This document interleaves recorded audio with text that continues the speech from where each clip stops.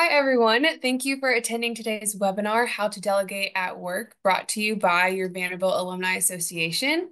I'm Kelsey Campbell, and I serve as the Assistant Director for Campus Engagement in the Alumni Relations Office, and we are thrilled to have you join today. We'll give everyone a minute or so to log on. In the meantime, I want to provide you with some details about today's webinar. This webinar will last approximately 45 minutes and there will be an opportunity for Q&A towards the end of the pre presentation. Should you have any questions throughout the web webinar, please feel free to submit them in the via the Q&A function. This webinar will be recorded and we are we will add it to our webinar um, website on our Alumni Association career page, and we also email you the direct link in the coming days. Now, it is my pleasure to introduce our speaker, Hallie Crawford. Many of you know Hallie from previous Vanderbilt alumni career offerings, and we are excited to have her back to lead today's webinar. Hallie has been a certified career coach, speaker, author, and national career expert since 2002. Her company, Create Your Own Career Path, is headquartered in Atlanta, Georgia.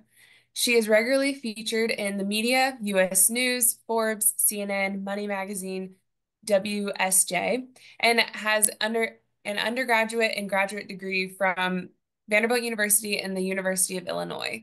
With over 2,500 success stories, her team of coaches and resume writers help professionals find jobs that make them want to jump out of bed in the morning to go to work. And with that, I'll turn it over to Hallie. Thank you, Kelsey. I understand it for a second there. You were like, wait, is this what I'm supposed to be saying? So thanks for that great introduction. Um, and thank you, Doug and Kate, as well, for um, being in the background and helping us facilitate today. Really appreciate your time, especially on what may be your lunch hour, to talk about a really important topic. It's critically important for, I would say, all of us to know and understand how to delegate at work. Even honestly, if you're not in a managing other people or management level position, obviously it's critically important in that case but to be able to communicate even with your coworkers about the splitting up of tasks you know whose role is who's responsible for what based on their role etc um, this idea of delegating and being able to ask for help in the right way is just critically important to professional success regardless of where you are in your career. So the advice we're going to give you today will go kind of across the board just fyi so already had a great introduction. Thank you for that. Um, I've been coaching and training since 2002. Um, getting a lot more gray hair up here at the beginning. It was more underneath. Um, and I'm a proud Vandy um, alum from 95. The advice we're going to give you today is advice that we give to all of our clients. But one of the things I wanted to say kind of up front here is that because we're going to give you a lot of different advice and tips and suggestions, I recommend that you pick and choose what makes the most sense for you to be working on first, based on where you are in your journey of learning how to delegate.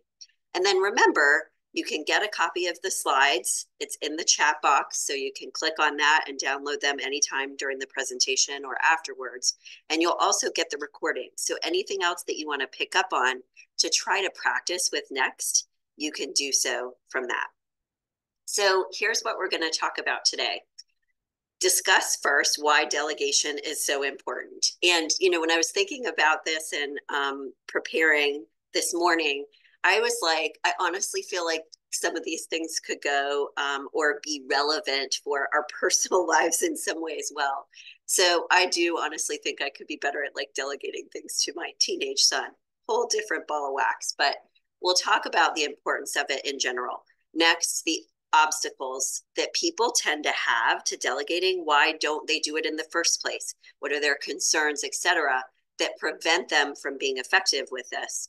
When and how to delegate and then we'll give you action steps along the way but we'd really love it if if the very end while we're working on and getting towards our q&a portion um, if you would write down and take away one action step from today that you will take on in the next week so that you walk away with something really tangible and practical. Um, please feel free, just by the way, to put any comments or questions or even resources that um, you have used in the past for delegation inside of the Q&A box. I'm happy to answer those as we progress and pause for a minute no problem there. And we'd love to hear what your success stories are with delegation and any other tips and thoughts that you might have so that we can all learn from each other. All right. So let's talk first about why delegation is so critically important and a little bit about like what the definition is, so to speak. So here's the deal. Obviously, delegation is, you know, giving um, or redirecting, if you will, lots of different ways to think about it, giving or redirecting tasks to other people on your team, whether you manage them or you're, they're your coworkers or you're asking for help in some way, shape, or form. Or it could be your friends and family fam- family members, like we said, with our personal lives too. And the reason why delegation is really important and knowing how to do it effectively is important, as well as knowing when it's good to not delegate as well, is because it's a better distribution of responsibilities across multiple people. Um, it's also important to delegate because sometimes, and it's okay to admit this for yourself as a professional, sometimes someone else is going to be stronger or better at that particular task based on what their strengths or their skill set is. And by the way, what's cool is when they're able to leverage that strength, that boosts their confidence. It's good for their professional development as well. So it kind of goes across the board in a good way.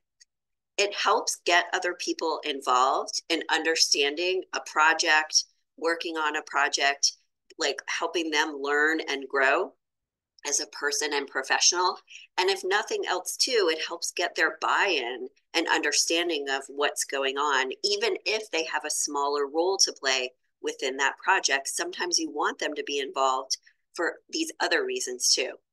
And finally, for yourself, it will help you and with just personal productivity. You'll be more productive as a result because too many people i think and i understand this because i uh, have been this way in the past too sometimes where it's like well i'm the only one that really knows how to do this or i'm the best person to do this or i'm afraid if i delegate something to someone else that things are going to fall apart and this is part of the obstacles that we want to help you overcome which we'll start on this next slide so um, let's talk about this first one. And it looks like we've got someone who in the Q&A already said something, which is great. Thank you for this share. I rely on five team members who do not report to me, but you de I depend on them to hit my number.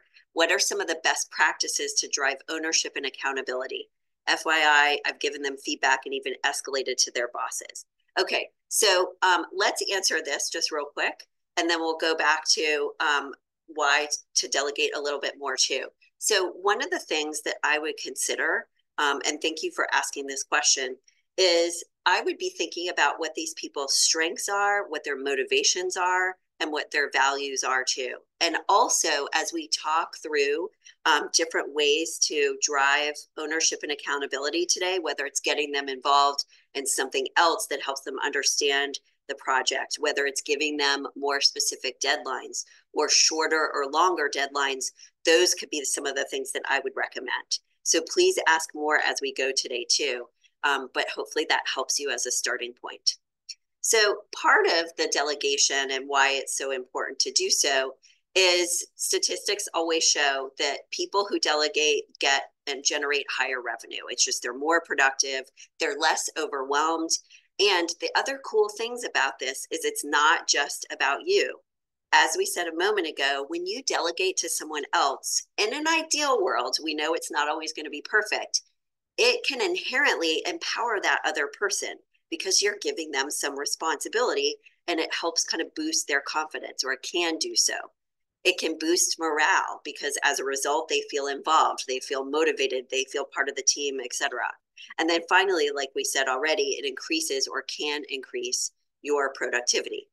Now, some of the obstacles that we hear from our clients to effective delegation are listed on this next slide. And what I would like for you to do, please, is write down which of the obstacle applies most to you because the first thing that we usually need to do when we're trying to accomplish or achieve a new goal is to also understand what gets in the way of us achieving this goal because we can just try as hard as we want to but if that obstacle is still a sticking point we're never going to get anywhere So some people think, and I understand this, that it would take longer to explain something than complete it yourself. And I get that. And this is one of the criteria that you want to ask yourself would it make more sense for me to complete this because we're in a time crunch. I really know what, you know, we need to do here. It's not going to take me that long. This is my area of expertise. Or can you say to yourself, look, even though it's going to take a little bit of time to explain this, I can figure out how to do so in the most effective way. Is it preparing a video for that person? Is it preparing instructions? And at the end of the day, is it better to do that because then that person can take that on on a recurring basis? This is the balance we have to sort out. Some people will tell us their obstacle is they like that sense of being indispensable. Like we had a client once who was actually a CEO of a large company in Chicago and he actually liked being the problem solver and the firefighter. It was like, okay, I feel like I'm being productive and effective.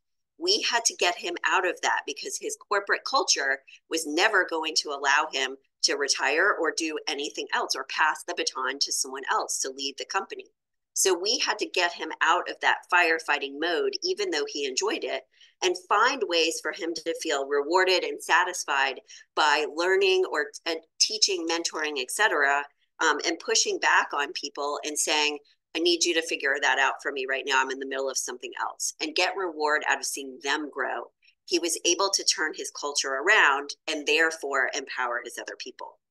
Sometimes we avoid delegating because we enjoy completing certain certain tasks. And we want you to complete tasks or work on things that you enjoy. Maybe you can say to yourself, I'm going to split the difference here and realize that it's not always about the enjoyment, it's also about the best use of your time. Another obstacle people feel is they might feel guilty about adding to other people's plates. They might lack confidence, and this speaks to the question we had a moment ago and who they need to delegate to. And if that's the issue, we need to be thinking about okay, different ways that we can delegate to them but also maybe are those the right people on my team and do i need to get outside help if what you've been doing isn't working. And then finally in some cases people will say and i get this because i've felt the same way too um, and i've had to learn to be a better delegator is you might believe that you're the only one that can do the task or work on the project correctly.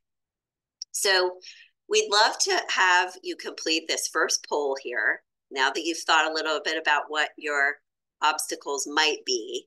So if we can launch the first poll, that would be great. And just pick which of the ones you think most applies to you. It's okay if on your list you have a few different obstacles. We can have you work on multiple different obstacles. Pick the biggest one for now, and let's start to tackle that one first. Is it this idea that it's too time consuming? Is it I get anxious because I don't want to tell other people what to do or have them feel like that's what I'm doing? Or is it the, I'm not sure how to delegate effectively in the right way? And totally okay when you're answering this because obviously that's why we're here. Um, okay, so I did want to point out while you're completing the poll, great comment in the Q&A. Thank you for sharing this. Um, I do have not heard of the Eisenhower matrix. Um, so if anyone wants to find that and Google it online and maybe put the link in there, that's really interesting. Um, and uh, agreeing about why to delegate, it's important to be able to let go. It develops your team members, all of that. Great comment in the Q&A box there for you guys to check out. So we'll give you a second to complete the poll. And once we have a critical mass, I think we'll share the results too. It doesn't have to be 100%. But I am curious what this will be.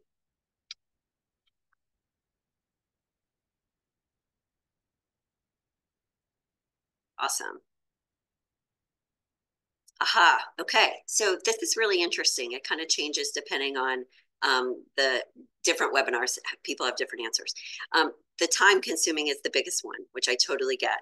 So for those of you who fall into that bucket, I understand it. And what I'll tell you is what I have found is that when I take, it may be extra time sometime, like uh, during the course of my work week or even a little bit on the weekends, to get better with the efficiency and the process of being able to delegate things to other people, whether it's you know coming up with the right way to um, educate people about certain things, having a project task manager, etc., it's going to be worth it in the long run. So try to think at the long game versus the short term pain, so to speak, of, okay, it's going to take that extra time.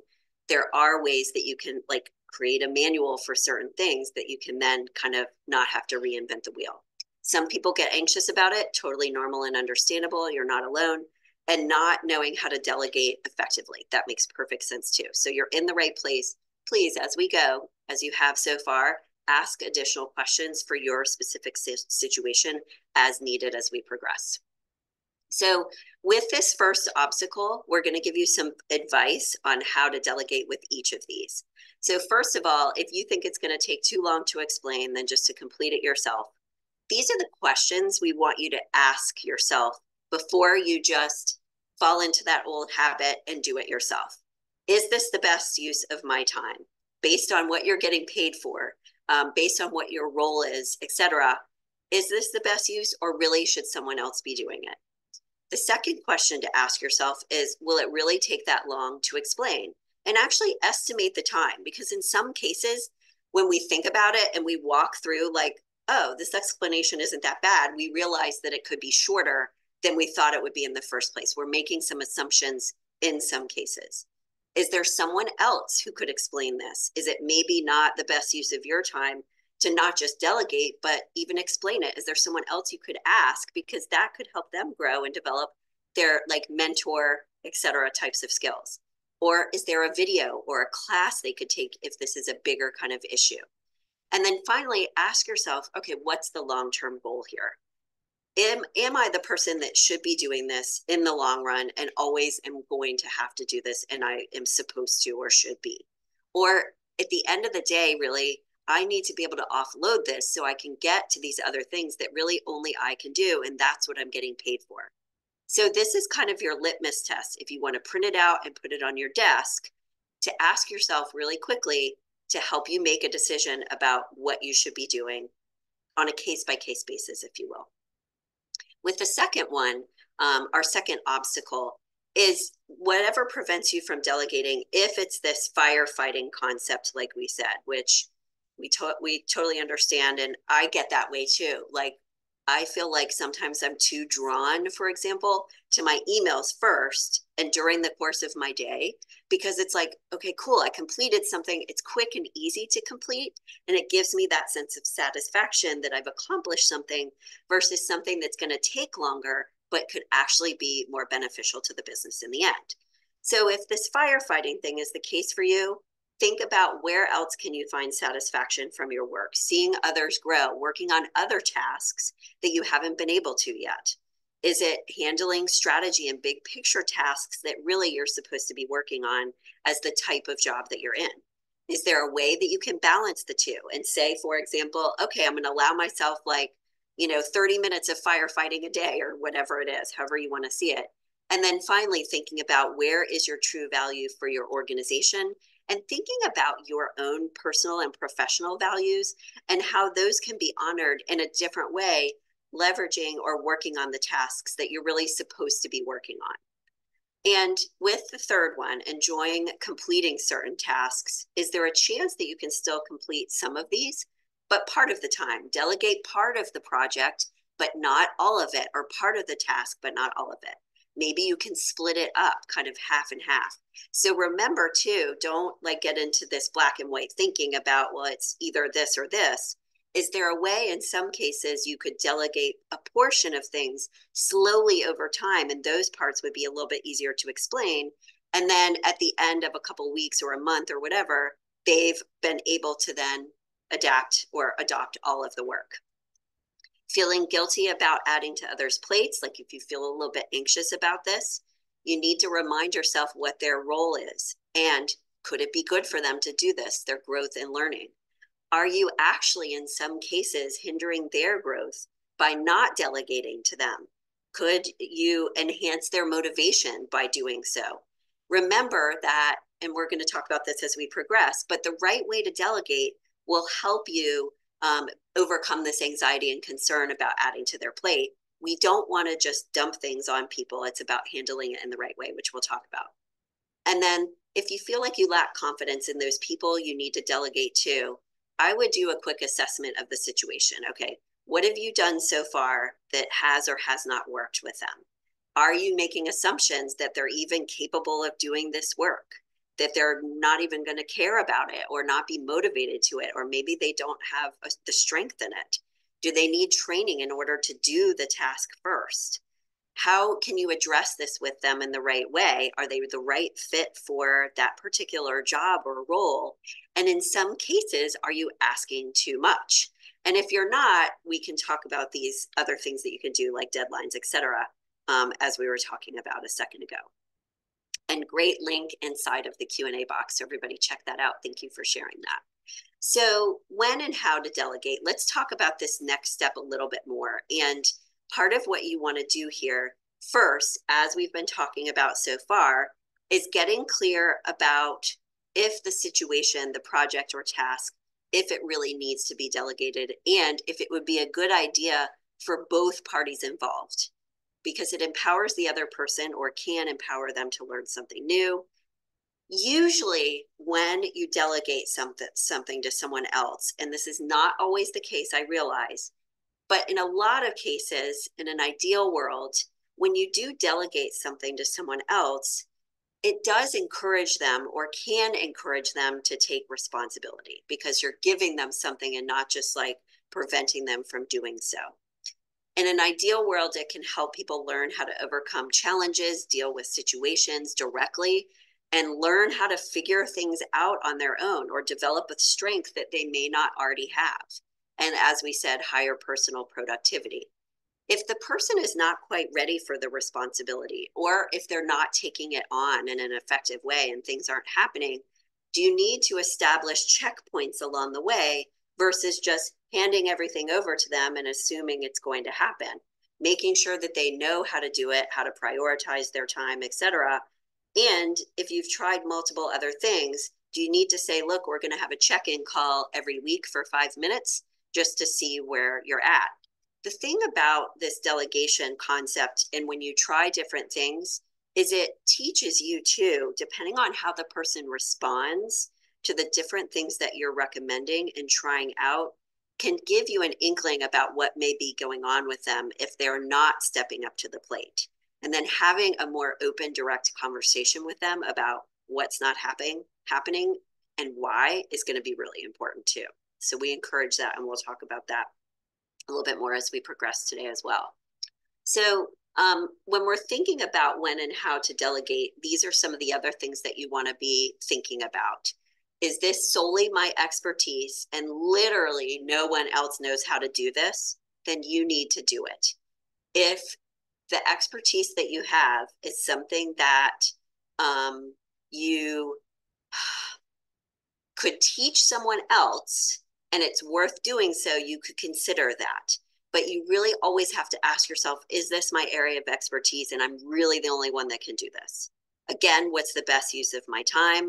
And like we said a moment ago, could I maybe start this out, put some framework around it and some suggestions and kind of guideposts um, along the way for when they know that they're being effective and what the milestones are. And then I can hand it off at that point. So, as we said a moment ago, there's different ways to like um, kind of split the task in half or start it on your own, but give people a little bit more structure to how they know that they're being successful. Another question is do I have time to effectively delegate this, this task, including training the person and reviewing the work when it's completed. So this is the tough thing too about delegation is that as we all know, when you bring or like start this, it's not just about training at the beginning, but you either have to evaluate the work yourself at the end or check in with them on a regular basis too. So when you're estimating your time and the time required, make sure it's not just that time up front, but what am I going to do until I feel comfortable with them handling this on their own? And how much time would be required to do all of that? Okay. I would leverage AI in some of these instances. If you feel like you need help, for example, delegating um, a certain type of project that you're having trouble delegating with someone.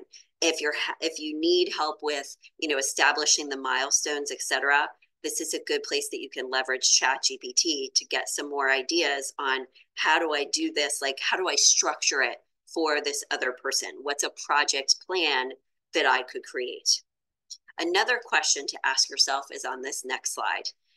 Will this be a recurring task? Because recurring tasks especially if they're not just within your area of expertise and if they're a little bit more like administrative and rote and routine, that should be delegated in a lot of cases to someone else again depending on the roles that are played etc but when something is recurring if it's not really something that is solely your expertise we need to be thinking about who else could help this with me or for me and then finally, is this a task like an opportunity for a coworker or a team member or someone that you manage to grow and develop their skills?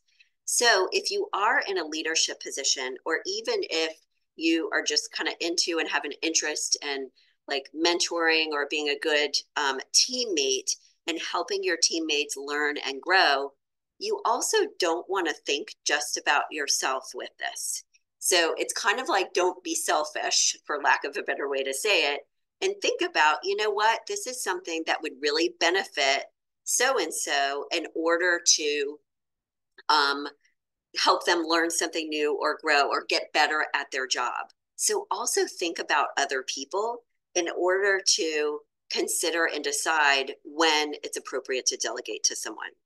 Um, We've got another comment here, and then I'll deal with the, the next question closer to the end, as you indicated too. Um, someone said, I read that immediately checking your email first thing in the morning actually contributes to inefficiency. I've heard that too. Um, so often emails are to what others want versus what is your priority. So it pulls you off task. Um, completing prioritized tasks first, then checking email. I absolutely love this. My only little addition to this, so check out in the Q&A box, this is great advice too, would be some people are in the type of job or need to first thing in the morning, and if you can really stick to it, just scan for any like fires they may need to put out. Like if they need to reprioritize their prioritize their priorities for the day. But outside of that, I highly recommend waiting until you get your other stuff done. Absolutely. So when you're thinking about delegation, the next thing we want you to be considering are what are other people's strengths? And if you don't know what other people's strengths or personality types are within your team, it's a good idea to start considering that and thinking about it so that you know who to delegate to, when it's the right time to do so, and if they are the right fit for what you're asking for. The next thing that you can consider is does it align with their goals? So, do you have at least a little bit of a sense of what motivates them? Because people obviously, when they're not motivated to do something, they're much less likely to do it or do it effectively and properly. Because if you play to other people's strengths and really try to keep that in mind overall, they will be more motivated, they'll be more successful, and you won't be asking people to do something that they really either just don't know how to do, or if they could do it or figure it out, if it doesn't play to their strengths, they're just not going to, it's not, the end work product is not going to be as good. Now, I realize that in an ideal world, we can't always play to everybody's strengths. Like our job description is our job description, and we have to complete the job, and I get that. What we're asking is for you to just consider these things as often as possible within reason when you're considering and thinking about this idea of delegating. Okay. Now, how to delegate. Let's talk about this a little bit more and kind of some of the structure here. So, first of all, when you decide to delegate to someone else, it's really important to make sure that you define the desired outcome and very clearly. And I realize that this may seem obvious, but I can't tell you how many times I'm in a rush to ask our operations person to help me with something and she has to write me back and says okay so wait why are we doing this and why did this come up? So spend a few extra minutes making sure on this next slide that you're providing as much context as needed so that this person understands why we're doing this what the purpose is what the goal is what it looks like and even numbers and statistics if appropriate. Now you may not have to provide all of this information every single time but what I find is that if I'm asking one of my team members to do something, when I provide that why and that context, they're much more able to help me get that project completed in a way that I actually want because they understand the thinking behind it and they may have a completely a new better idea on how to tackle things when I give them that context versus just saying go do this and do it in this way. It's a really good idea to clearly tie the project or the task to the organization's goals as much as possible um, and sometimes we do these webinars for like family too. And I use these some of these tools with with my family as well. So that's why we put that in there. As much as possible, you want people to feel like they're moving the ball forward as it relates to the organization's mission and goals. They're a part of a team. They believe in what they're doing. Those types of things are important as part of being motivated to complete a task. You want to make sure that you've got a defined deadline and if the person that you're delegating to is not great at time management, you may need to put those milestones along the way. So, interim deadlines so that they know that they're making progress and what they need to complete at any point. And then finally, a very clear sense of how are they going to know it's completed and how are they going to know it's completed properly. And here's what I find is even if you end up needing to delegate multiple different types of projects. If you, and once you get better at creating like a project plan, so to speak, and a way to delegate for one project, you're developing that muscle and you're going to get better at doing so with other ones, even if they're a little bit different, because you've started to develop a framework that you can plug and play a little bit more. Okay. So just know too that remember it takes about 90 days typically to develop a new habit in the right way and have it be a little bit more rote and routine for you. So this delegating thing, the more you practice and do it, actually better you'll get at doing so over time. And you'll learn how to make adjustments um, as the time allows and is needed. The next thing you need to think about when you're delegating is ensuring that you're providing, or your organization or someone is providing the resources that this person needs in order to complete this task. Do they need additional training? Do they have the computer software that they need, whatever it is? So make sure that they've got what they need in order to make it happen. Every once in a while, that will happen to me where I'm like, oh, okay, so we need to buy this, you know, different thing or whatever it is. Step number two, or part of providing the resources, is I think it's really important, depending on the person that you are delegating to, that you may need to micromanage or not based on their skill set and where are they are with understanding how to perform this task or work on this project.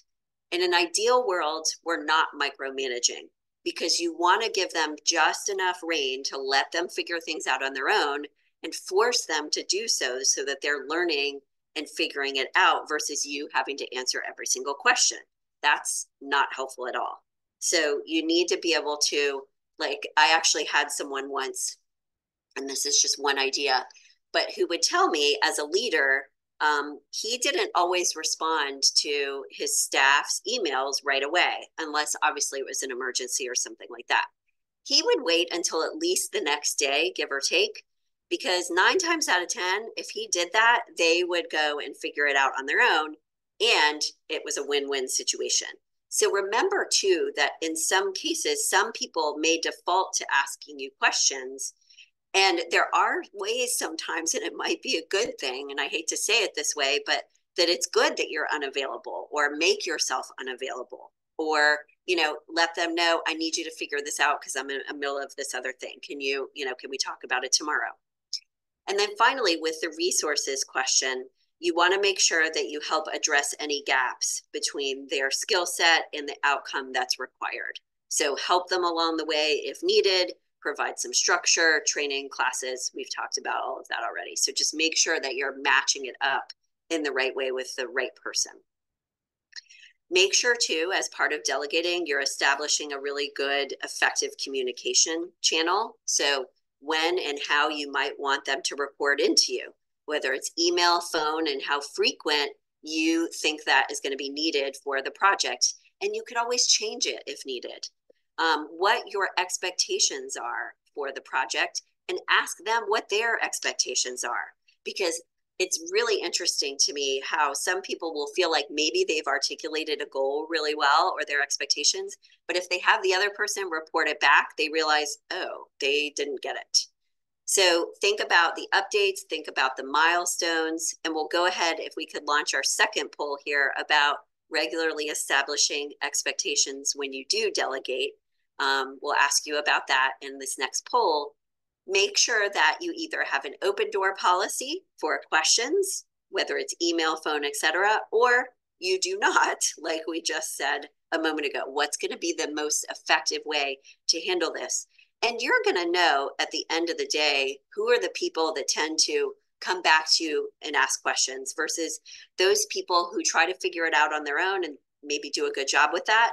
Or some people may try to figure it out on their own and they actually don't do a good job. So you may want to check in on them a little bit more. It's all about what kind of like um, or free rein you want to give them when we're thinking about this. So I'm going to move to the next slide while we're finishing this next poll so you can take a look at our next concept here about um, allowing for errors and differences, because this is always going to happen inevitably. Nobody's perfect. And I'm really curious what these are. Okay, good. So it looks like the majority of people feel like that's the case. Remember context, context, context. I like to over communicate always versus under communicate. And for those of you who are saying no, room for growth, that's why you're here.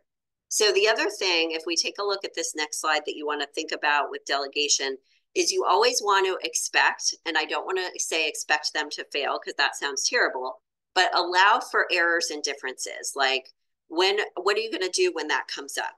Um, be ready to or open to them providing maybe an alternative solution to what you've suggested, just in case, and don't assume that their way is wrong. Okay. So, what are you going to do uh, also with um, giving them just enough rope not to hang themselves with, right? But to be able to experiment a little bit. And up front, when you delegate the project, talk right then about how you're going to handle feedback in both ways. So if things aren't going as well as you would like or I would like, how are we going to handle this? We need to have a quick conversation over the phone about it. Okay? Okay. So design the relationship or how you're going to manage disagreements, errors, difficulties up front. So what's going to happen or what should we do if this deadline is missed? What do you recommend or what will you commit to doing? Deliver it constructively when you do have to deliver that feedback, especially if it's difficult. What we like for people to say is, hey, I need to talk with you about something. Per our agreement, we said we'd be open about feedback um, is this an okay time to talk with you about this right now? That asking permission can help kind of drop their defenses a little bit, lets them know what's coming. But again, if you've got an agreement, you're pointing to that over there and you're saying, this is what we decided we would do um, in this instance if there was a mistake or an issue. Two other things as part of delegating that we would recommend is being patient. I know that can be hard. They might take longer than you would. They might do things differently than you would. You need to just be open to that and ready for differences. Come up with a project timeline together. Don't just always say, this is the deadline, but check in with them about it. Like, is that reasonable for you? Because what if someone else gave them five other things and you don't know about it? So it's not to say that you're going to let them run the show, but have a conversation about the deadlines. And if you feel like they're not going to be on time, give them a deadline of a week earlier so that you've got that buffer zone. And if needed, help them with time management. After action reviews are great. So once the project is done, review what happened, give them credit and kudos where it's due, what went well, what didn't go well, what can we do differently next time. This you need to have these conversations with people so that you can again establish open lines of communication and know what to do differently the next time around. And you're not just beating your head against the wall doing the same thing. Okay. And then when you're providing feedback, we talked a second ago about asking permission, um, creating that agreement up front. Remember that the effective assertive communication formula, if you will, when you are giving feedback to someone, is always, and this is really interesting, is to show understanding first, then state the facts, then work on coming up with a resolution, offer one up, but ask them for one as well. You might even want to ask them to offer up a, a resolution first to see what they come up with and force them for greater accountability. The reason why the show understanding is there is not because you're going to let them off the hook because they missed the deadline. It's not because you're going to agree with everything they say, but to at least say, I understand this may be a little bit more difficult, or maybe, you know, the time management is an issue. Let's talk about this. Here's what happened. Let me know where you're coming from with this because there may be something that is going on with them that you don't know. Um, and it could be something that you can address together. Now, a few tools for delegating. We'll go to our um, last agenda item and then we'll get to Q&A here. We really like this coaching tool that we teach our clients about called Powerful Questions. And powerful questions are things that you can ask people that you are delegating to to try to force them more so to take responsibility, come up with their own answers, and not just like shy away or shirk something. Powerful questions, bottom line, listed on this slide are open ended. They do not allow for a yes or no answer, and they assume a positive outcome. And that's why we really like them. There are some examples on this slide. What could or would you do differently going forward? what would accomplishing this project effectively look like for you? What would be the best outcome? Powerful open ended questions like this will force the other people, the other person or people, to come up with their own answers. In some cases, take greater responsibility or accountability for what they're doing. And you're not just shoving things down their throat without getting some understanding and what I like about these two is that, like we said, they assume a positive outcome. It's like, what would you do differently? And how are we going to know things are better? Not if we know they're better. Okay. So try these out. They can make a really big difference. The other cool thing about powerful questions is they tend to be a little bit more or come across a little bit more as trying to gain empathy and understanding. So if someone is becoming a little bit defensive, it tends to help drop those defenses a little bit more. Then you can go in and say, here's what I think we need to do. Here are my recommendations. So again, it's not saying that you just roll over and let them run the show, but you've framed this out in a more productive way, conversation wise, to then get to those parts of like, let's come up with an agreement together and what we're going to do about it if the agreement is not met. Okay. So we talked about the providing feedback a little bit more. I really want you to focus on this. And with our last poll here, if we could launch that now, that would be great. We're curious about how many people out there regularly provide feedback to the people that you work with or people that work for you, because we know this tends to be something that can be a little bit touchy for people, me included. I tend to avoid it. It's a normal human response but we have to get better at kind of designing our professional relationships so that we have agreements around how we're going to deal with these touchy things so that they are smoother, more effective, and it meets everyone's needs, but also like their communication style a little bit more as well. And part of why I say all of this, and then I'm just going to go to the next slide while you're completing the poll, is um, some people, for example, who are more introverted, they prefer to get feedback via email first, sit with it overnight, and then they can talk about it. Some people who have a different personality style or type or whatever yours is may not match what theirs is. So, in order to communicate effectively, it is good to try as much as you possibly can to have the other person hear you in the right way. Okay, good. Most people are giving that feedback, which I love. This is another tool, and then we'll start to move to our Q&A. So please put any other comments or questions um, in the Q&A box. These are the four needs of followers that the Gallup organization, which is the Gallup poll and the Strengths Finder assessment, assert that people who work for organizations, you included all the way up to the CEO, what their needs are. Four needs of followers is what they call them. Trust, compassion, stability, and hope sometimes when we are having trouble either um, being an effective delegator, or if the people that we've delegated to are not or are having trouble completing the tasks, it could be a breakdown in one of these possible areas. So we suggest that you use this tool, and the link to the slides, remember, is in the chat and it's here too. That you can use this tool in many different instances. If you're having a conflict or an issue with someone else, is there a breakdown in one of these areas that if you worked on that a little bit more together, things could get better? To notice and pay attention to if your needs are being met within your organization, and to consider in some cases if the other person that you're trying to delegate to or work with eh, their needs are not being met in some way and these need to be beefed up. This does not mean that this is your sole responsibility to provide all of these things but when we give this to our clients nine times out of ten they're like oh i get what's going on between me and this other person and i think we need to work on one of these areas okay so something to print out put on your desk because it can help you with your own professional growth and development and your needs, but also to notice what may be going on with a, a team between two people that you're delegating to within um, other parts of your organization as well. And our final tool, and then we'll get to our Q&A, is um, one of the books, in addition to the resource that was mentioned in the Q&A box, which thank you for sharing that. I'm going to check that out too is there are five levels of delegation from this book, Free to Focus. This is a really helpful book about um, delegation and how to handle things. So, level one for someone that you're delegating to is carrying out instructions, obviously.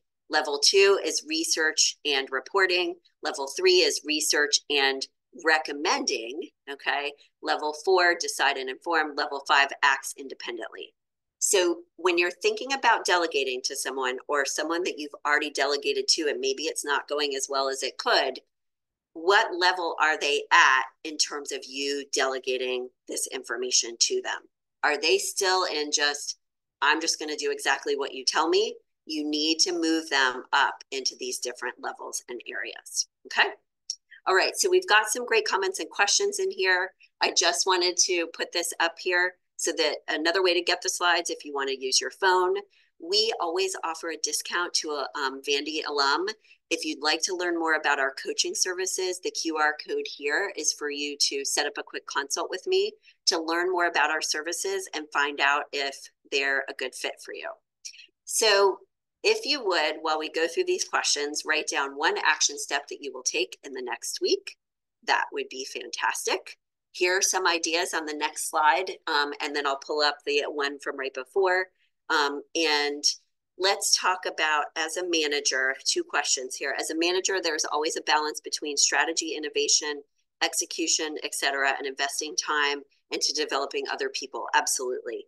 How much focus does delegation deserve in this mix on average? Thank you for asking this question. I will be honest with you. I don't have an exact perfect number. I think it depends on a lot of different factors what level of growth and engagement your team is at, what type of job you're in, these other types of things. So I think it really depends on your role um, and where your team is at, kind of in these different levels of delegation. But if I had to say and like um, estimate a number, to me, as a manager, it at least needs to be like, I want to say 40%, um, at least that, and get to closer to like 50 or 60%. Again, depends on your role, your team, etc. But those are going to be the numbers that I'm going to throw out to move in that direction um, as a starting point.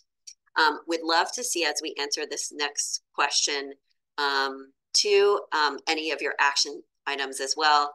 Um, time permitting challenge when you delegate at, to people who aren't pr prioritizing or not meeting the deadline and they're they're not good at um, focusing etc so hopefully um, some of the tools that we came up with um, andrew for your question or talked about like having that conversation with them about what are you going to do if they miss the deadline and asking them to come up with um, some suggestions there so that you're not having to babysit them. Maybe you are a little bit at the beginning, but getting them to take a little bit more responsibility. I would try those things and I would try this idea of powerful questions to have a frank conversation and direct conversation with them about, look, this is the way it's been.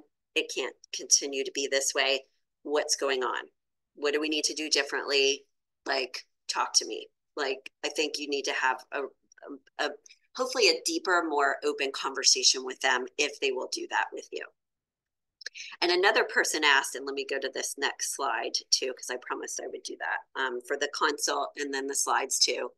The powerful questions again, um, they can be anything related to the situation that you're asking about. So remember, they're not yes or no, they're open ended.